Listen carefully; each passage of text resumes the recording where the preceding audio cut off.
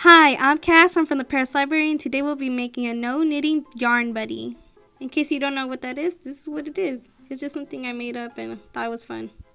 We're first going to start off with our hot glue gun, our yarn, our pipe cleaners, our eyes, which could be buttons or googly eyes, our scissors, and if you didn't catch that, don't worry, I wrote it down all for you.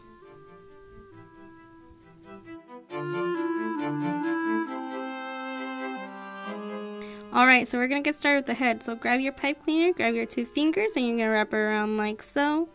And just to make sure it stays a circle, we're also going to wrap around the circle. And we're going to make five of them. Boom! Movie magic, got five of them. Once you got all five, you're going to want to put one across the other, like so. You're going to make room for another one. And you're just going to do this until you can fit all of them in. Just be very careful. You're also just going to want to squish them to make sure they fit. This will really help make the shape of the head.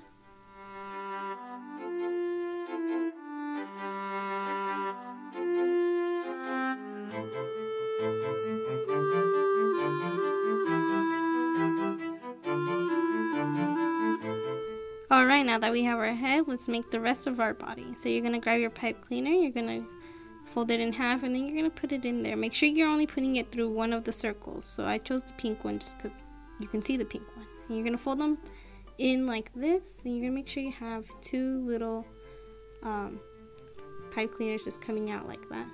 And that's very important by the way. It's very important to have it exactly like this. Then you're going to grab another one, you're going to wrap it around just to make the neck and the body to secure it.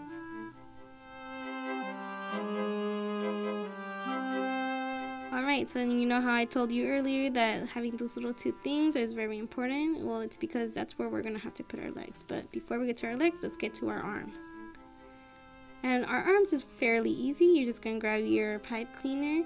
You're going to wrap it around like so. And make sure you have in the position that you want your legs to be at as well.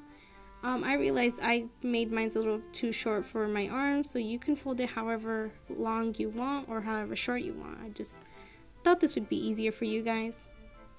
Alright, now for one of our legs, you're to fold it in half and then you're to put like a little foot at the bottom, just making it look like an L. And you're to open up again those little things I told you about. You're to go from the outside in and then you're to twist it a little bit just so the foot isn't all the way sideways. Okay, so now we're to plug in our hot glue gun. While our hot glue gun is getting hot, we're going to take out our yarn and get started on our yarn buddy. The way I start is I get out the string and I just make a simple knot on the neck. You can cut off the excess yarn, but I'd like to keep it on there. And once you're ready, you can start wrapping away with, with the head first, and then you can move your way up to the arm.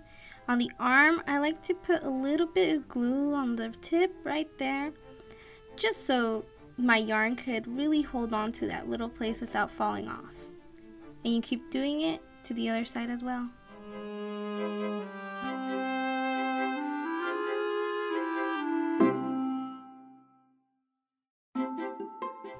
Okay, so now we're going to move down. Don't worry about the body, just go down to the leg.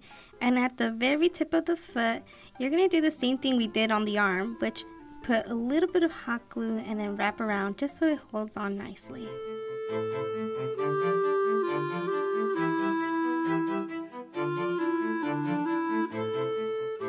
Alright, so then when you're done with your legs, you can start working on your body and getting it as thick as you want or as thin as you want.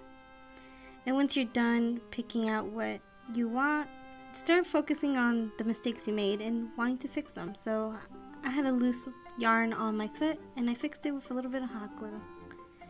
And then I'm going to go wrap around to make my feet more even just because I think my right side needed more yarn on it. At this point I realized I ran out of string so I got my hot glue gun and tried to hide it as best as I could.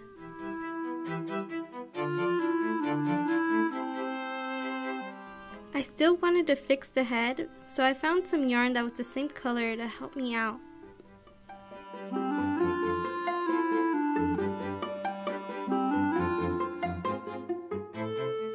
I added hot glue because I really wanted the yarn to stick in some places.